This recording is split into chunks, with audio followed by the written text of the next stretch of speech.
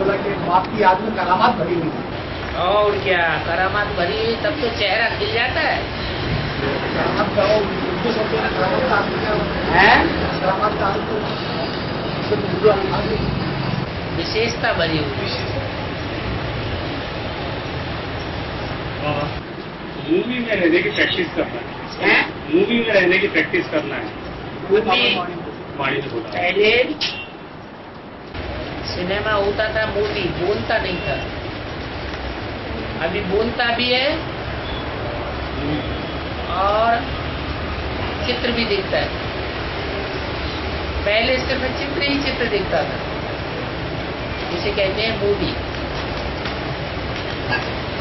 माना बोलना कब है? मूवी में रहना माने ही स्टेज में रहना और बाबा ने पेट को पट्टी नहीं बांधना है। पेट है एक बुद्ध रूपी पेट। और एक ये स्थूल पेट स्थूल पेट को भी पट्टी नहीं बांधना है। जो का पेट है बुद्ध रूपी पेट, उसे भी पट्टी नहीं बांधना है, उसका भी काम चालू रहे। मनन चिंतन मंथन चलता रहे। ब्राह्मणों का काम ही है ज्ञान लेना ज्ञान देना मनन चिंतन मंथन करना। और? जो बहुत होशियार होंगे वो पहले पहले आए होंगे। हाँ।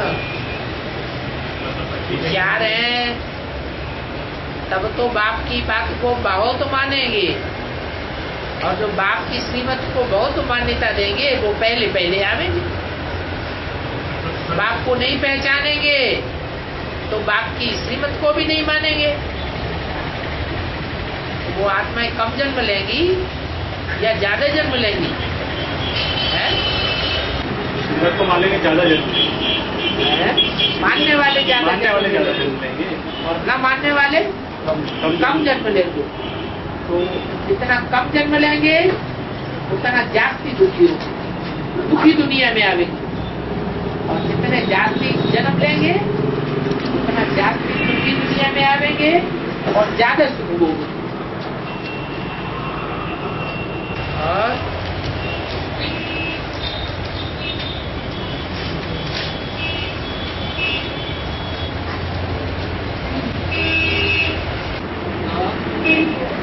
बताया कि संख्या का इतना इतना बंडलफुल पार्ट है कि तुम बच्चे भी समझ ना सको फिर त्रिमूर्ति का एक्यूरेट परिचय कैसे है? फिर त्रिमूर्ति का एक्यूरेट परिचय कैसे दो एक्यूरेट परिचय? कैसे दें कैसे दें हाँ शंकर का इतना बंडलफुल पार्ट है कि तुम बच्चे भी समझ ना सको। हाँ बच्चे समझ नहीं पाएँगे तो एक्यूरेट परिचय कैसे दें? बच्चों को समझना पड़े। आज नहीं समझते हो कल समझ जाएँगे।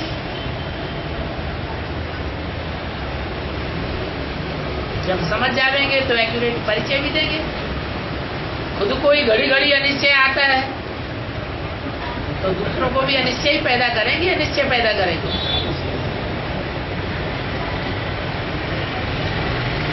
और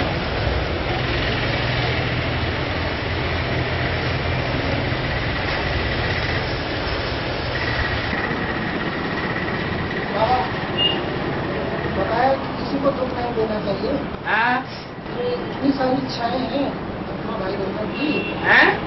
इच्छाएँ तो इतनी है कि पूरी नहीं कर सकते तो उनको दुख तो मिल ही जाता है कहीं ना कहीं। शिक्षा तो यही मिली है इच्छा मात्र विद्या जो पाना था सो पा लिया अगर भगवान को पा लिया तो और क्या इच्छा रह गई दुख दुख तो मिल जाता है हमारे ज़रिए हमारे ज़रिए दुख तो मिल जाता है किसको इसको जो हमारे संपर्क है।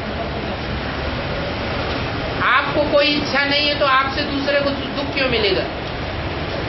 आपको खुद ही इच्छा है तभी तो दूसरों को दुख मिलेगा।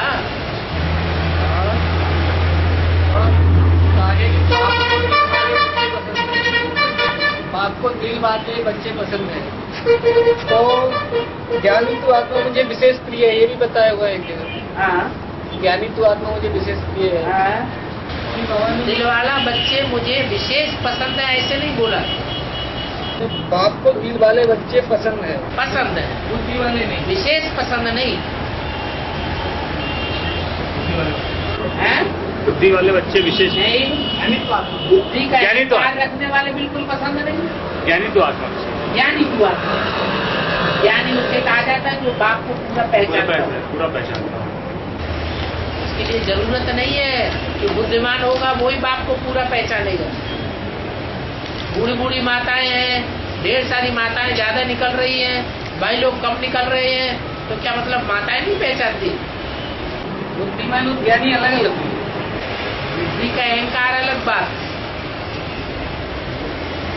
बुद्धि का अहंकार सबसे जास्ती आज दुनिया में वैज्ञानिकों को है। या जो ज्ञान में चलने वाले हैं उनको है?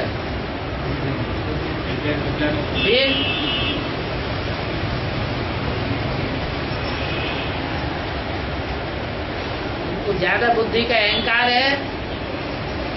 उन्होंने उस दुनिया को नष्ट करने का ही सामान तैयार कर लिया है, जिसमें वो रहे पड़े उसी डाली को काट रहे हैं, जिस पर बैठे हुए हैं।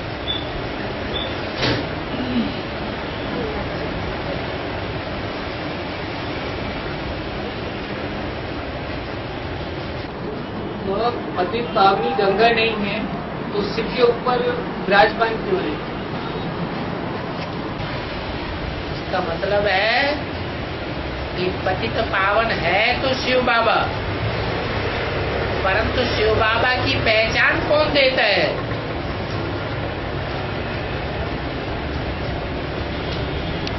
जो ज़्यादा सर्विसेबल बच्चे होते हैं, उनको सर पर बिठाए लेते हैं। तो बाबा ने किसको इशारा दिया?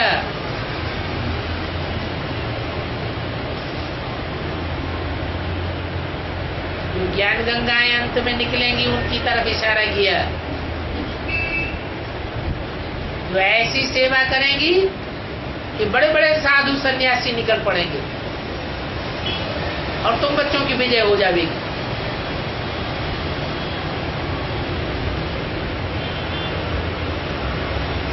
तो पतितों को पावन बनाने का रास्ता बताने वाला खास कौन हुआ?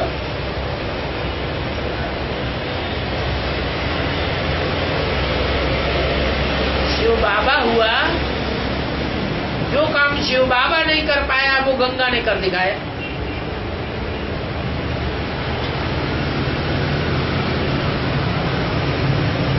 बच्चों ने समझा तो बुद्धि तक समझा प्रैक्टिकल जीवन में धारण नहीं कर पाया। और गंगा निकलती है। तो ऐसी आत्माओं को समझाने के निमित्त बन जाती है, जो पवित्रता के आधार पर प्रैक्टिकल जीवन में भी करके दिखा देते हैं। माने असली ब्रह्मा कुमारियाँ निकल पड़ती हैं। गंगा तो रुद्रमाला में से है। अभी भी बाबा कहते हैं, विजयमाला का आवाहन करो। कौन करेंगे विजयमाला का आवाहन? आप पवित्र करेंगे? या पवित्र गंगा माताएँ करेंगी?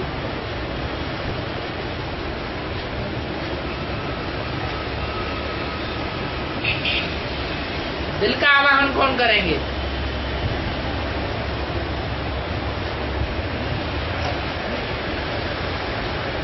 दिल से दिल को राहत होती है। और? गुरुमाला के बच्चे आह्वान करेंगे उसका अर्थ नहीं अर्थ कर आह्वान कर पा रहे हैं? कर रहे हैं? कि बुद्धि अपनी अपनी लागत में लगी हुई है।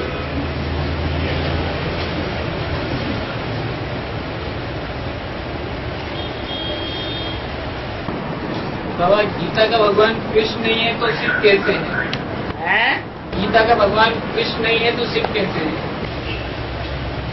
न गीता का भगवान कृष्ण है न गीता का भगवान ब्रह्मा है साकार में तो दोनों ही नहीं है। जब शिव शंकर में प्रवेश करता है, तब गीता का भगवान है। ब्रह्मा गीता माता है। गीतापति भगवान नहीं है। तो ब्रह्मा के मुख से निकली हुई एक एक वाणी को, एक एक महावाक्य को, एक एक शब्द को जानने वाला गीतापति भगवान है। जो एक एक शब्द के हिज्जे हिज्जे करके बताता है। पति होता है तो पत्नी की नस नस को पहचानता है।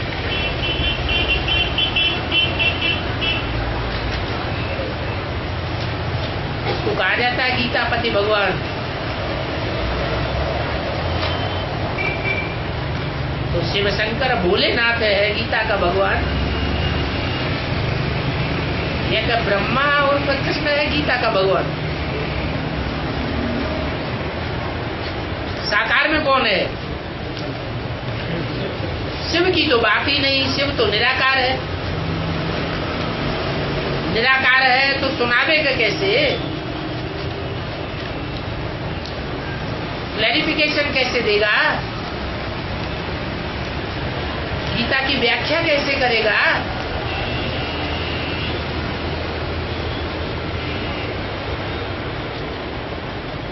ये कृष्ण गीता का भगवान नहीं है।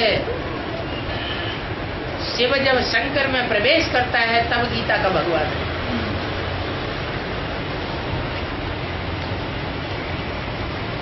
और? आत्मा तो परमात्मा हाँ जी। आत्मा तो परमात्मा नहीं है?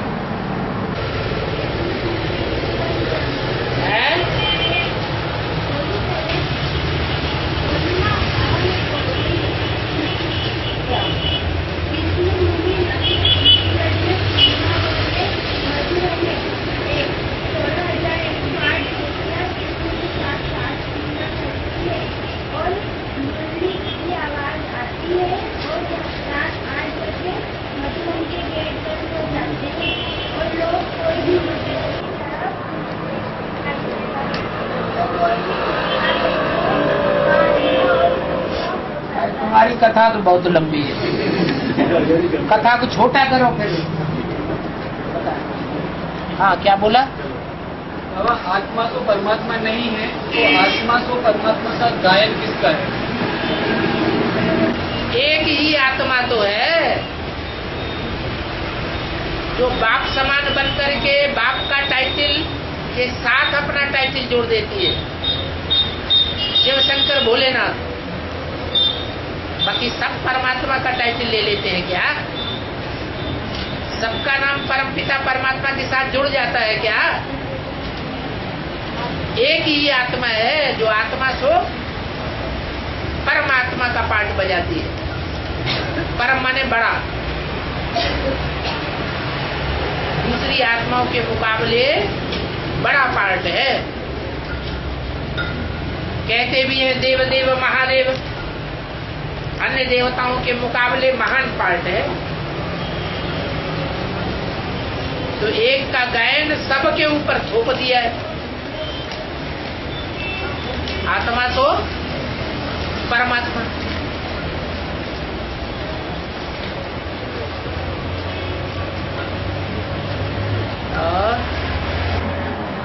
और परमात्मा सर्वव्यापी नहीं है तो एक व्यापी कहाँ? ब्रह्मा कुमारियों से पूछो। तुम तो जानते ही हो।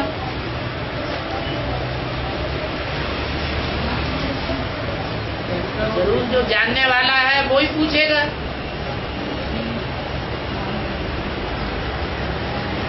सिर्फ़ इतना कहना है कि परमात्मा सर्वव्यापी नहीं है नहीं है नहीं है। अरे नहीं है तो एक व्यापी कहाँ है, वो तो बताओ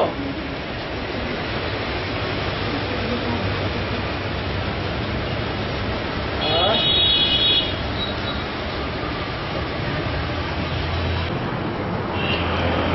शंकर और विष्णु अगर नहीं है तो ब्रह्म कुमारी का सवाल है। है? ब्रह्म कुमारियों से संभाल ले मतलब ये उसका। क्या? शंकर और विष्णु अगर नहीं है तो अलग नहीं है? हाँ। तो वो कहाँ एक कहते हैं? शंकर और विष्णु को एक कहाँ कहा जाता है? एक नहीं बाबा शंकर और विष्णु अगर नहीं है तो नहीं है हाँ। तो अनेक इतने मंदिर और मूर्तियाँ कहाँ से आ गई? अरे है ना। शंकर भी है और विष्णु भी है प्रैक्टिकल में। लेकिन ब्रह्मा अभी प्रैक्टिकल में नहीं है। जब संसार में प्रत्यक्षता होती है तो प्रैक्टिकल में ब्रह्मा का पार्ट नहीं रहता। ब्रह्मा सूक्ष्म वतनवासी हो जाता है। और प्रैक्टिकल में शंकर और विष्णु का पार्ट बजाने वाली आत्माएँ इस धरती पर फिर भी मौजूद रहती है। इसलिए उनके मंदिर बनाए जाते हैं। ब्रह्मा का मंदिर नहीं। नहीं बनाया जाता। मूर्तियाँ भी नहीं बनती। क्योंकि सिद्धि पाने से पहले ही लोग हो गया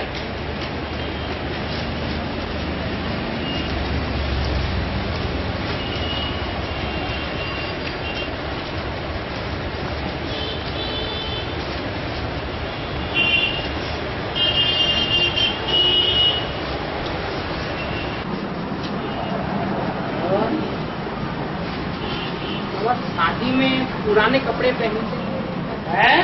शादी में पुराने कपड़े पहनते हैं। कहा? शादी में। अभी हाँ।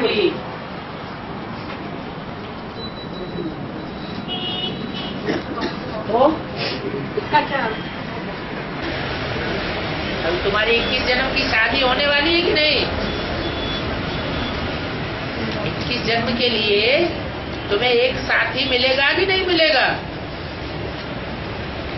तो अभी तुम वनवास में हो या राजाई ठाट बाट में हो? वनवास में हो। और?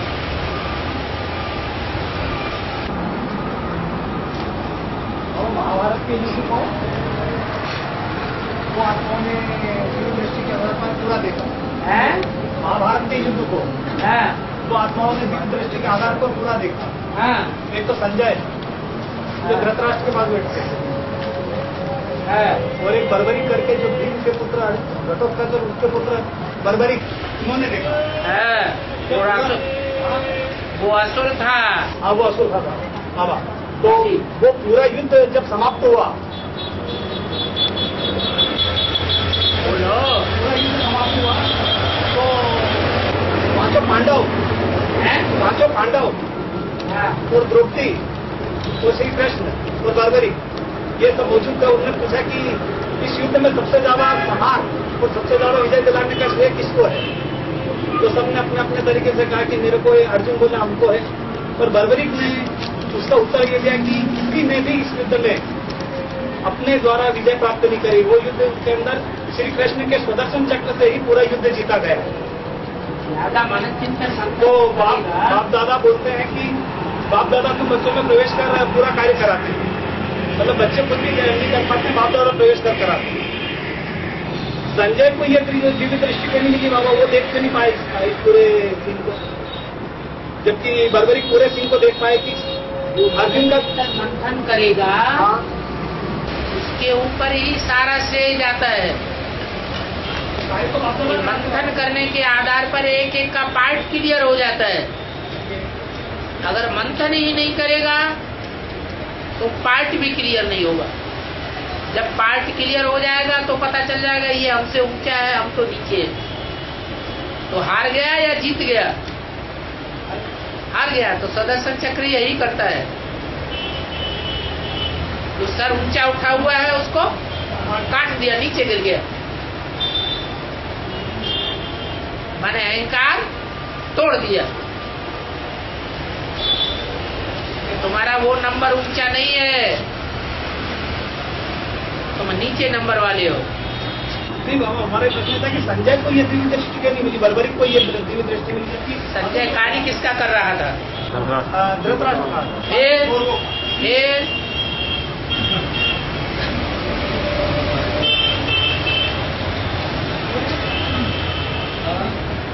हाँ जी।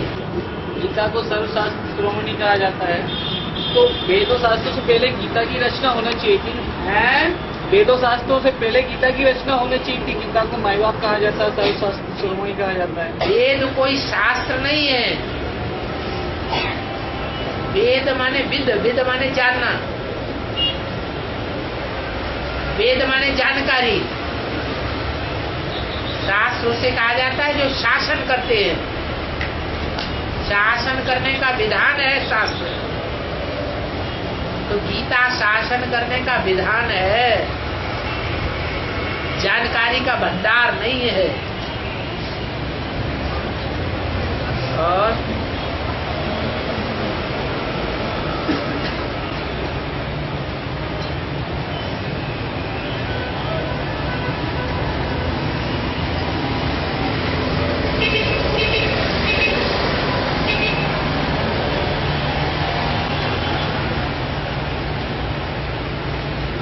जहाँ पार्वती का ससुराल है, वहाँ भूकंप आता है।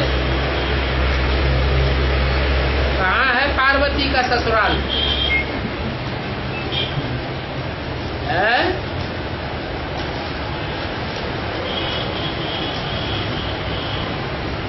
तो पार्वती का ससुराल कहाँ है?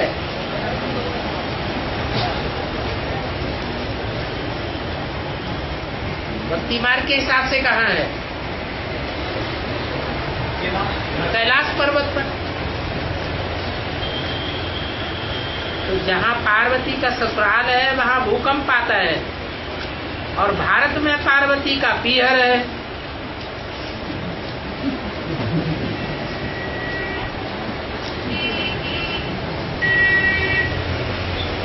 क्या कैलाश पर्वत हिमालय में नहीं है?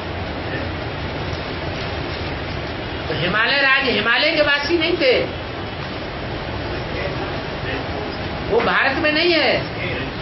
तो लिखने वाला क्या लिख रहा है?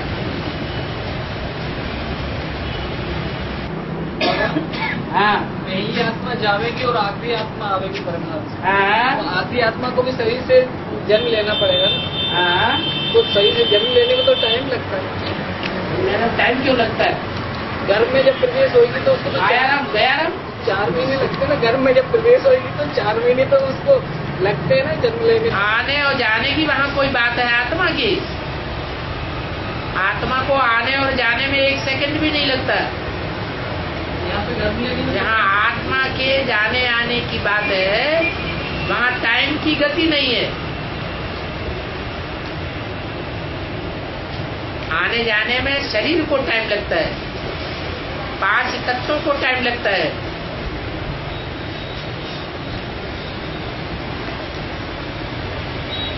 आत्मा तो सर्वज्ञ हो सकती है।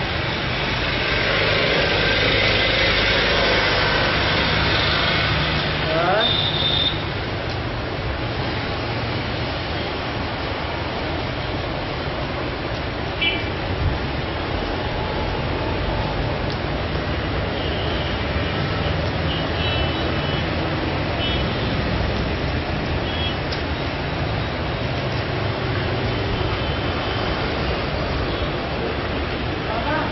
हाँ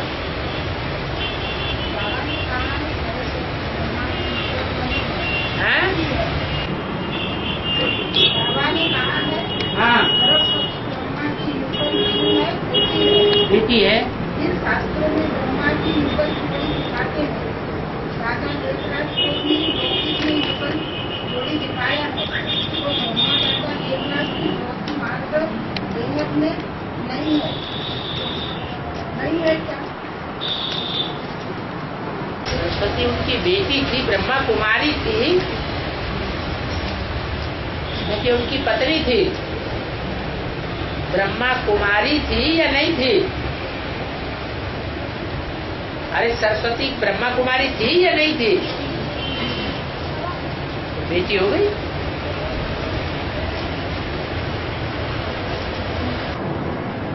तो सतयुग में तो सोलह कलाएँ होंगी। हाँ जी। तो संगम में तो सारे कलातीत हो हो जाएँगे क्या सभी हैं?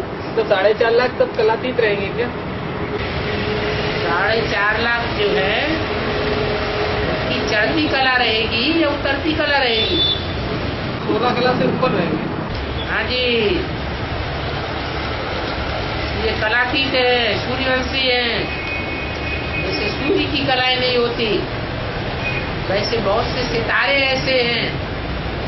जो स्वयं प्रकाशित हैं। स्वयं टिमटिमाते रहते हैं? दूसरे से रोशनी नहीं लेते। हाँ जी पूरे नहीं है, नंबर वार है। तो हाँ जी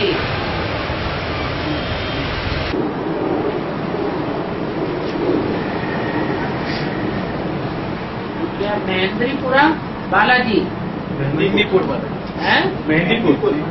मेहंदीपुर। बालाजी में हनुमान जी की छाती से पानी निकलता है। इसका राज क्या है? हनुमान जी ने अपनी छाती में भगवान को बैठा रखा होगा। भगवान ज्ञान सुनाते हैं छाती में से। हैं? हैं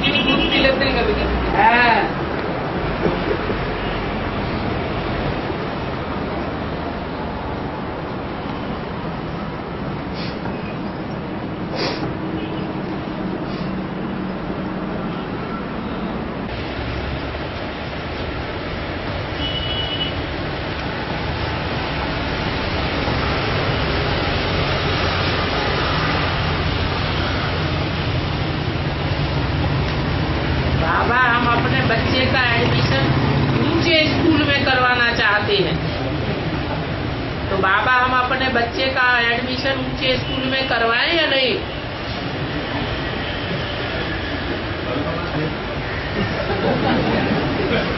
उससे ज़्यादा ऊँचा कोई स्कूल है तो कोई है ही नहीं जहाँ भगवान बाप उसके ऊंच पैट पढ़ाने आए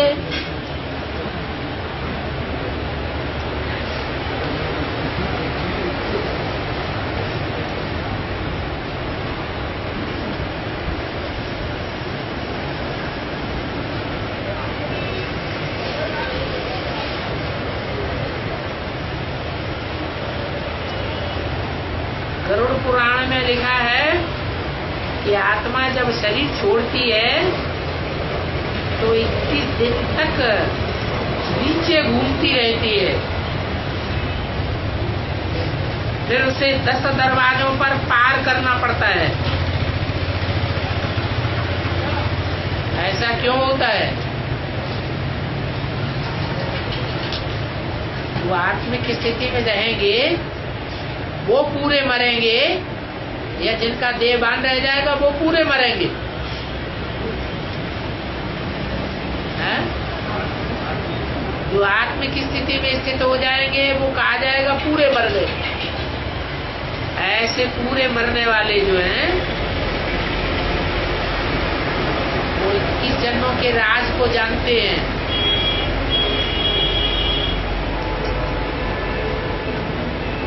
उनमें ज्ञान नहीं होता है। इक्कीस जन्मों तक देवताओं में ज्ञान होता है। हैं? तो बुद्धि की नीची स्टेज कहें या ऊँची स्टेज कहें? कुछ जानते ही नहीं। तो जैसे बच्चे के मुआफिक है। और फिर दस दरवाजों से निकलना पड़ता है। पार करना पड़ता है। माना दस दरवाजे कौन से हैं? दस धर्म है, वही दस दरवाजे हैं। देवी देवता सनातन धर्म की आत्माएँ ही हर धर्म से प्रसार करती हैं। बीज रूप आत्माएँ वो भी प्रसार करती हैं। परंतु बीज रूप आत्माएँ कन्वर्ट नहीं होती हैं, और और आत्माएँ कन्वर्ट भी होती हैं।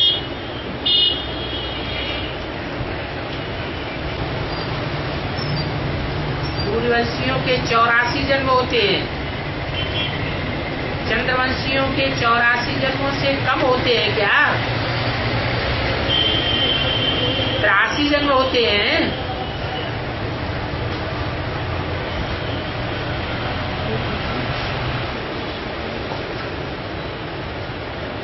अन्य वंशियों के त्रासी जन्म से कम होंगे क्या?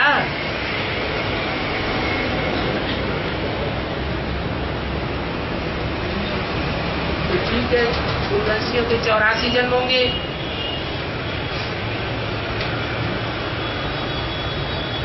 क्योंकि यहाँ संगम युग में एक जन्म चंद्रवंशियों का कम हो जाएगा। परंतु वो भी सोलह कला संपूर्ण बनते हैं। इसलिए त्रेता में जाके उनका एक जन्म बढ़ जाएगा। त्रेता में तेरह जन्म होंगे।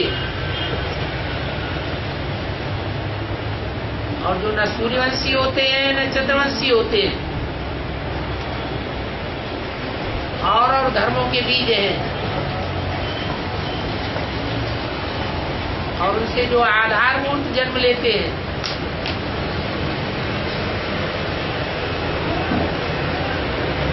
तिरासी जन्म से भी कम होगी।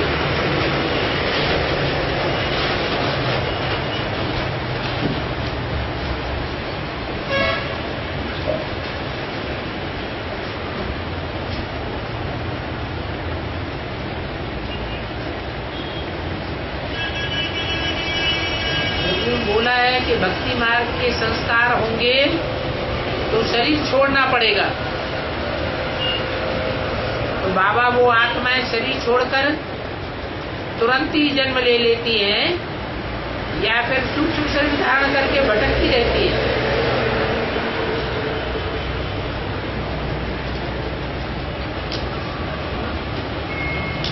जो एडवांस में आने के बाद भी भक्ति मार्ग के संस्कार धारण करके रहते हैं, उनको शरीर तो छोड़ना पड़ेगा, परंतु शरीर छोड़ने के बाद उनको दूसरा जन्म भी मिलेगा। वो अपनी आस पूरी करेंगे। इसी शरीर से संपन्न होने का। परंतु अगर अकाले मौत हुई है तो थोड़े समय के लिए सूक्ष्म शरीर भी धारण करना पड़ेगा।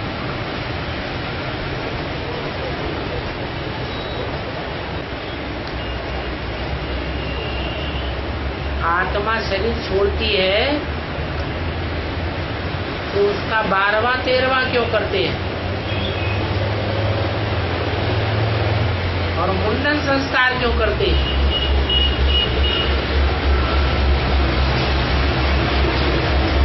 छोड़ने का मतलब क्या है? देह बाँध छोड़ना। और जो देह बाँध छोड़ते हैं उनके पूर्वजन्म के सारे संस्कार मोड़ लिए जाते हैं या रह जाते हैं?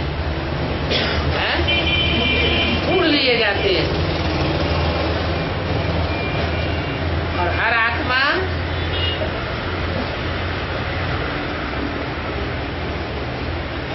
बारह राशियों से गुजरती है अपने अपने जन्मों में। ये बारह राशियाँ और कोई नहीं है। हर धर्म में बारह प्रकार की आत्माएँ हैं। माने बारह पूर्वज हुए हैं। पूर्वजों के ऋण से पूर्ण होना पड़ता है। इसलिए भक्ति मार्ग में ये बात बनी हुई है कि बारह दिन में क्रॉस करने के बाद फिर तेरहवीं होती है।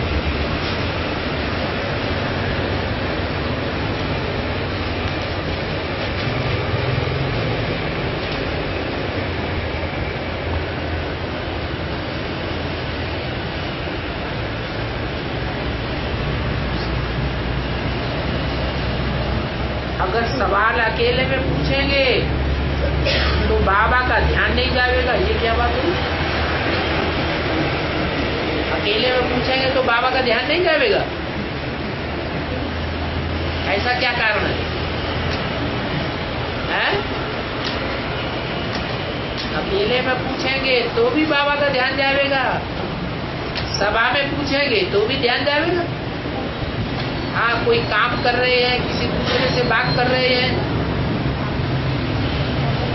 या कोई स्पेशल मनन चिंतन मंथन चल रहा है तब पूछा गया तो ध्यान नहीं जाएगा अकेले में भी सवाल पूछ सकते हैं।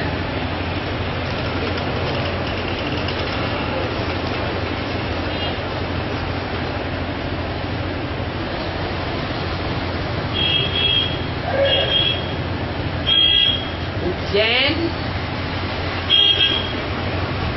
में महाकाल का मंदिर है।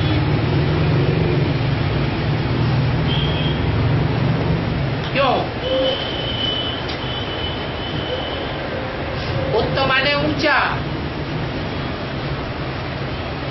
जैन माने जो जिन्न माने इंद्रियों को जीतने वाले को फॉलो करते हैं। वो है उज्जैन वाले। अर्थात सूर्यवंशी। सूर्यवंशियों का जो मुखिया है जिसकी उज्जैन वाले बहुत मान्यता देते हैं, वो कौन है? महाकाल। अर्थात शंकर।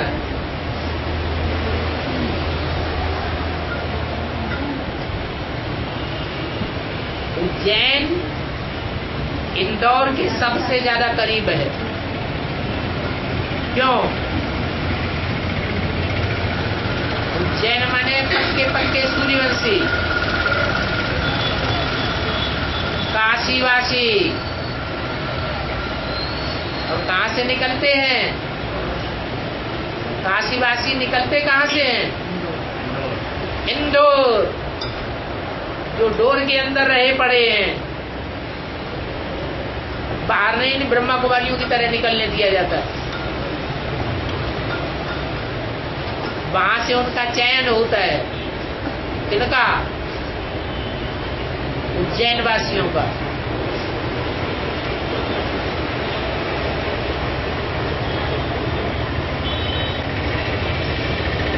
इंदौर के सबसे नज़दीक कौन हुए? उज्जैन वासी वो इंदौर वासी और वो उज्जैन वासी और हाथ में तो वहाँ पे एडवांस में कोई निकला है? के उज्जैन तो बेहद की बातें हो रही हैं कि हद की बातें हो रही? हैं?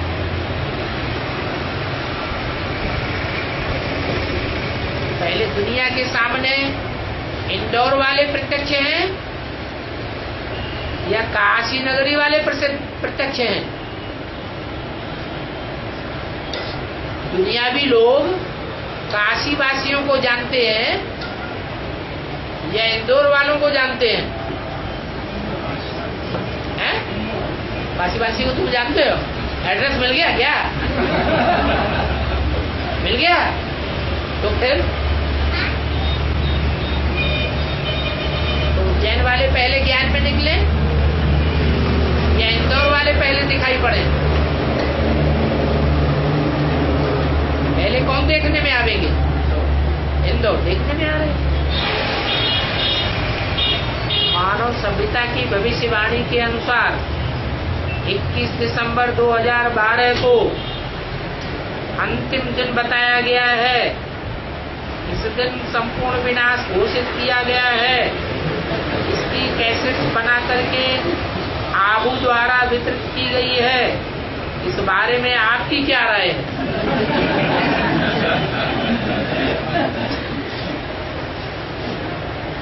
तो तुंडे तुंडे मत भिन्ना चलता ही रहता है। हमारी राय तो वही राय होगी जो मुरली की राय होगी। मुरली में कोई ऐसा वाक्य आया है कि 2012 में दुनिया खत्म हो जाएगी? हैं? तो बात अनर्गल हो जाती है। हाँ। आबू वालों ने इसको ज़्यादा स्वीकार किया है। और वो माउंट आबू में रहने वाले कौन से वंश के हैं? हैं? हैं? चंद्रवंशी है।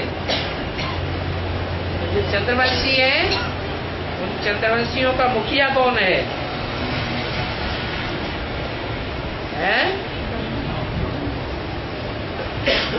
ब्रह्मा? कहाँ है वो ब्रह्मा? है? अरे ब्रह्मा कहीं है या नहीं है?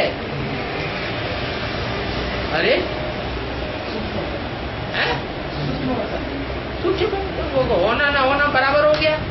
तो पकड़ में आएगा तुम्हारे? फिर? चंद्रवंशियों का कोई प्रैक्टिकल में मुखिया होगा या नहीं होगा? कौन है? अच्छा, चंद्रवंशियों का आधार मूर्त और आधार आधार मूर्तों का बीज रूप कोई है कि नहीं है? कौन है? हाँ।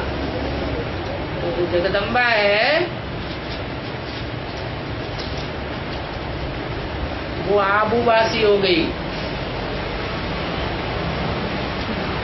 हो सकता है कि 2012 में जो धरणी है। जगदम्बा रूपी धरणी। उसकी बुद्धि लौटपौट हो जाए।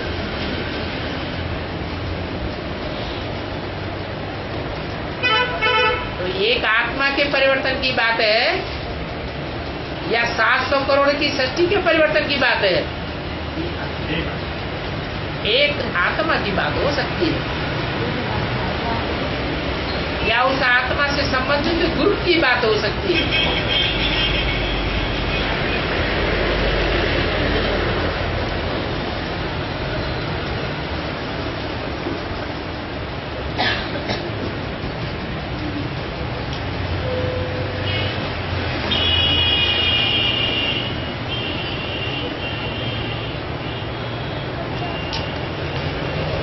कौन सी देवी है विमला देवी है सहज योग में निर्मला देवी कुंडलनी जागरण कराती है उसमें जाना चाहिए कि नहीं जाना चाहिए ये कुंडलनी जागृत क्या होता है? वो भक्ति मार्ग की किताबों में दिखाया है कि शरीर में आठ चक्र होते हैं। रीढ़ की हड्डी के नीचे कुंडलनी सोई पड़ी है। उन आठ चक्रों में से क्रॉस होते हुए वो सहस्त्रासार आखिरी चक्र में पहुँचती है। तो मनुष्य को मुक्ति मिल जाती है। उद्धार हो जाता है आत्मा का। ऐसा कुछ आज तक हुआ नहीं है किसी का। न किसी मनुष्य गुरु ने कुंडली जागृत की है। रीढ़ की हड्डी के नीचे मनुष्य की जो ऊर्जा है, वो सोई पड़ी है। वो क्षरित होती रहती है। अर्थात शक्ति क्षीण होती रहती है, रज और वीरी के रूप में। वो ऊर्जा मस्तक में पहुँचने की आदि बन जाए। यही कुंडली शक्ति जागृत होना है। और ये शारीरिक क्रियाओं से पूरी नहीं की जा सकती। ये मन की एकाग्रता से संबंधित है। मन को एकाग्र करना। ये भगवान का काम है। एकाग्र कराना। ये पढ़ाई भगवान पढ़ाता है, मन को ही आत्मा कहा जाता है।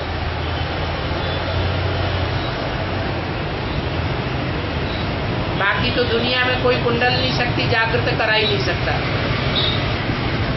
ना आज तक किसी ने कराया है, कोई प्रूफ भी नहीं है।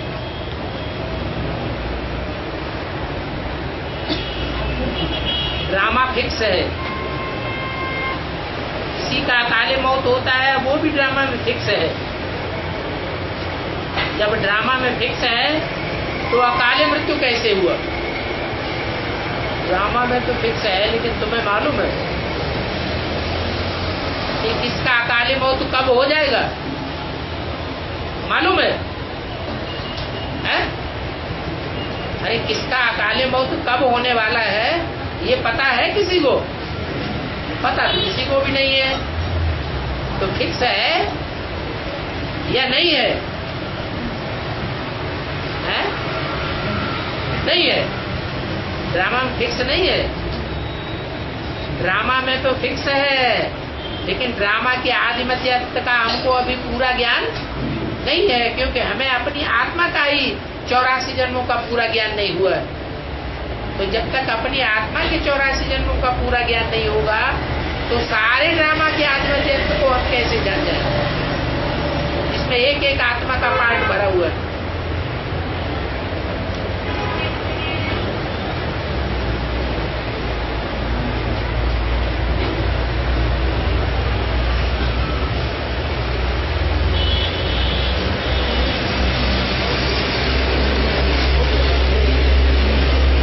बाबा कब आते हैं कब जाते हैं किसी को पता नहीं पड़ता है लेकिन तारीख। शिव जयंती का गायन फिर भी चलता है। तो ये कैसे चलता है? शिव जयंती का गायन चलता है भक्ति मार्ग में, या महाशिवरात्रि का गायन चलता हैं? शिव जयंती तो ब्रह्मा कुमारियों ने कहना शुरू कर दिया। भक्ति मार्ग में तो ढाई हज़ार साल से महाशिवरात्रि का गायन है। और बड़े से बड़ी अज्ञान अंधकार की रात्रि कब होती है? कौन से युग में होती है? दुनिया के मनुष्यों के बीच।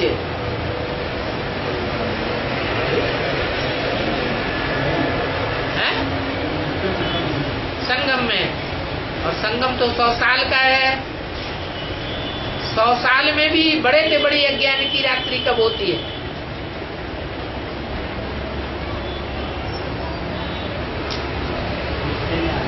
हैं? कब?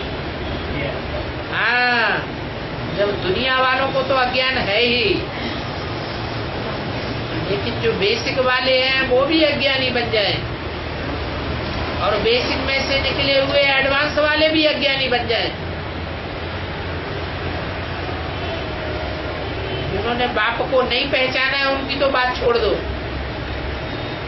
परंतु जिन्होंने बेसिकली पहचाना है, वो भी अज्ञान अंधकार में आ जाती है।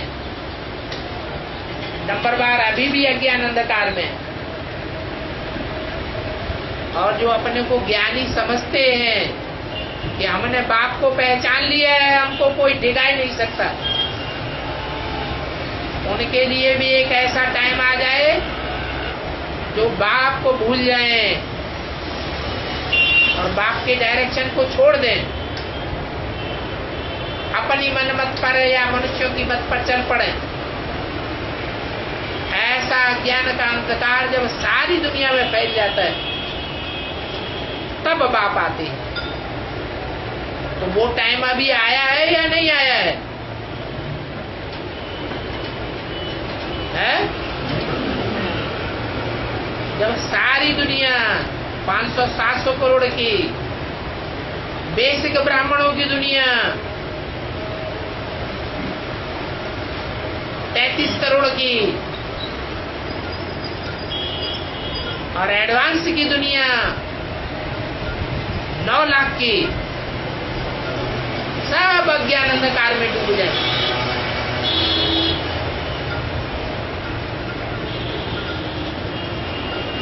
तब बाप की प्रत्यक्षता हो जाए, अचानक। उस समय का गायन है महाशिवरात्रि। टाइम कब आवेगा?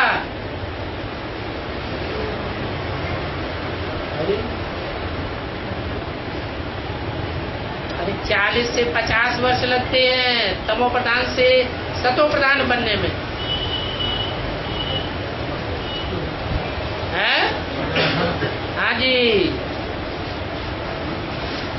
2018 तक तमो प्रधान ही बनते रहेंगे। दुनिया के सारे मनुष्य, चाहे कोई भी कैटेगरी के क्यों न हो, उससे पहले सतो प्रधान बन जाएँगे।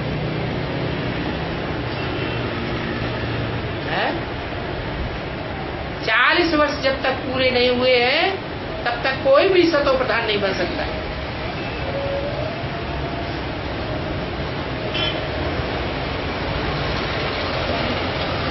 तो वही टाइम होगा महाशिवरात्रि का। उसी का गायन है संसार में। महाशिवरात्रि। केवल जयंती का गायन नहीं है।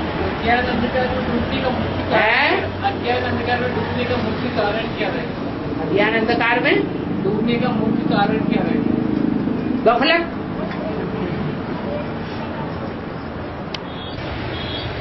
कहते तो हैं, भगवान को पहचान लिया। फिर भगवान तो कहते हैं, अमृत वेला सुधर गया तो सब सुधर जाएगा। फिर अमृत वेला किसी का सुधर गया? है? कारण नहीं पता चला। लौकिक परिवार में सारे के परिवार के सदस्य हॉस्पिटलाइज हो जाए प्राण निकलने लगे। सिलेंडर पर चढ़ा दिए गए तो जो एक बचेगा उसको नींद आवेगी? अरे नींद आवेगी कि नहीं आवेगी। फिर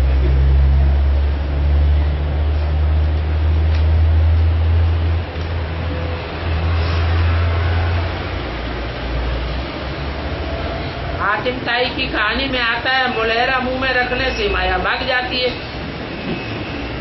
तो क्या अर्थ हुआ? अरे बाबा की याद करने से माया भाग जाती है। याद बुद्धि में है तो माया भाग जाएगी। और बाप की याद नहीं है तो माया आ जाएगी। का पौधा भी दिखाते हैं। हाथ लगाने से मुरझा जाता है। माया भी क्या करती है? माया भी संग का रंग लगाती है और माया आ जाती है मुरझा जाती है।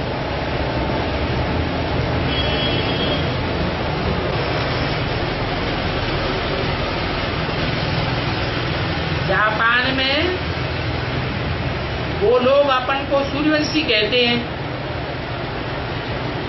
वहाँ पर सुनामी या भूकंप सबसे जास्ती आते हैं।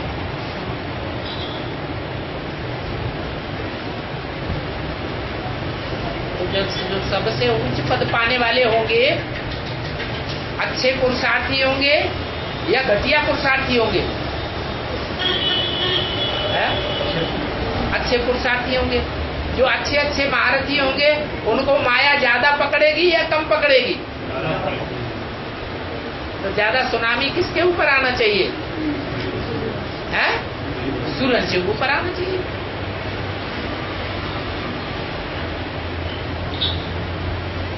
जापान का मतलब क्या होगा उनका पानी चला जाए। वो बहुत ऊँचे थे। कहते हैं ना बड़ा पानीदार आदमी है। हाँ बोला बोला है कोचिंग करो। Coaching coaching coaching coaching coaching coaching coaching. Class नहीं जानते कोचिंग क्लास माने जो ट्यूशन लेने के संगठित क्लास लिए जाते। वो कोचिंग करो। सत्यम शिवम सुंदरम इसका बेहद में अर्थ क्या है? ये दुनिया झूठ की है या सच की है? हैं? झूठ की दुनिया में सब झूठे हैं, या कोई परसेंटेज में सच्चे भी हैं? हैं? परसेंटेज में तो सच्चे हैं, लेकिन 100 परसेंट सच्चा कोई भी नहीं है। तो जो कोई भी सच्चा परसेंटेज में नहीं है, वो सच्चा 100 परसेंट कोई भी नहीं है।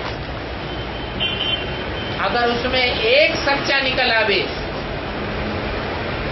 संसार में साबित हो जावे कि एक सच्चा और बाकी सब सब झूठे। वही सत्यम है, जिसको कहा जाता है गॉड इज़ ट्रुथ और जो सच्चा है, वही कल्याणकारी है। अगर कल्याणकारी नहीं है सारे विश्व का तो वो सच्चा नहीं है, झूठा है।